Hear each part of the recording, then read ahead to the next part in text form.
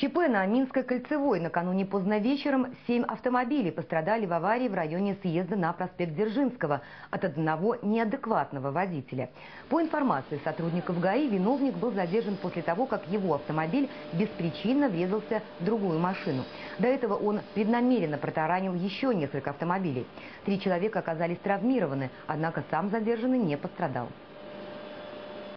Как пояснил э, водитель, э, он э, исполнял указания от Бога, то есть э, сигналы свыше показывали у машины, которые ему было необходимо ударить, э, что он и делал.